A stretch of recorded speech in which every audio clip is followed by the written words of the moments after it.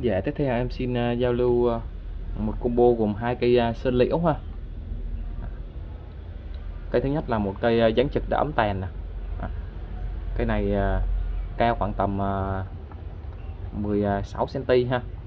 À, Đã được định hình bộ tàn nè. Cái này em vừa cắt tỉa lại nè và mình thay vô một cái trụ gốm xong rồi đợi nó bung lục non đó để bạn chơi sẽ rất là đẹp ha.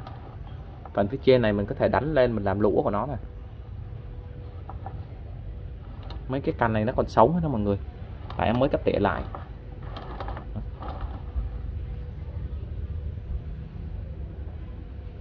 Đây là cái thứ nhất ha. Cái thứ hai cũng là một cây à, uh, dán trực cái bộ tàn nó được định hình rồi nè. Cái này thì cao khoảng tầm à, 20 cm ha. À, sơn liễu là một cái dòng rất là chậm lớn. Bởi vậy nên để nuôi được cái bộ chi dăm nó như thế này thì à, à, cũng ờ, tốn ờ, khá là nhiều thời gian đó ha.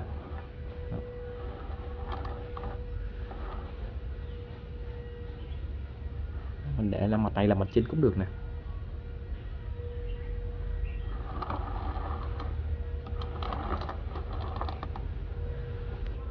Cho rồi dọn vườn em xin giao lưu cặp sơn liễu này với giá là 170 ngàn em bao ship luôn ha.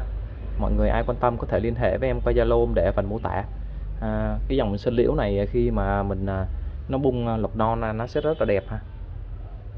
Rồi cảm ơn mọi người đã theo dõi video của em.